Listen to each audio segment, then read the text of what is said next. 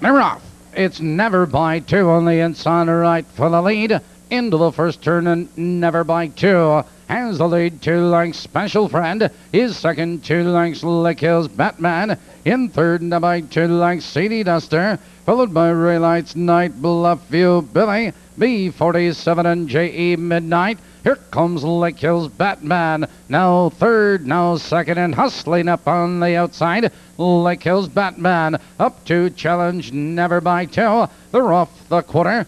29 and 4, but never by two. Holds on the inside of neck. It's Lick Hills Batman alongside a challenging second special friend. In third and by two lengths, here comes Relights Night. Moving to the outside, it's Seedy Duster, followed by Bluffview Billy, B47 and JE Midnight. They're heading for the half mile marker. Never by two. Has the lead three parts of a length. Lick Hills Batman is on the outside. Special friend. A minute and one into the clubhouse turn and never by two. Sprints clear a length. It's Lick Hills Batman second. Special friend is getting the trip third. Ray Lights Night. He's set to go three wide. No, they curve into the backstretch and never by two. Has the lead three parts of a length.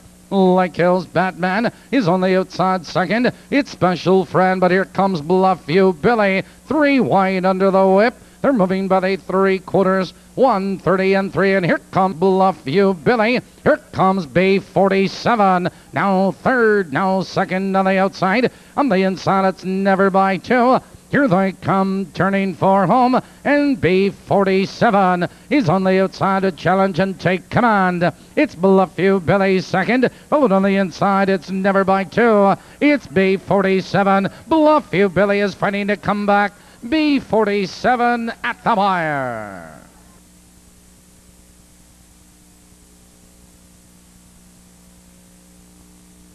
In the fifth race, number seven, B47 was first. Number six, Bluffview Billy second. Four, Seedy Duster third.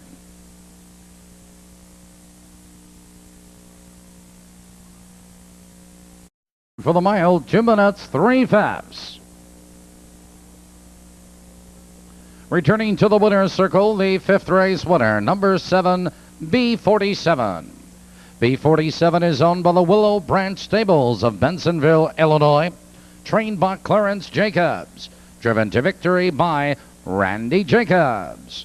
7-6 Perfecta. $75.80, $75.80. 764 Trifecta. $457.40. 457.40 on the 764.